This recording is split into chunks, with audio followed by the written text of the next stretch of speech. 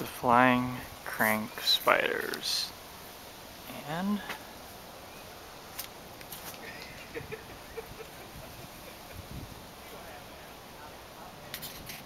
here's the mechanism.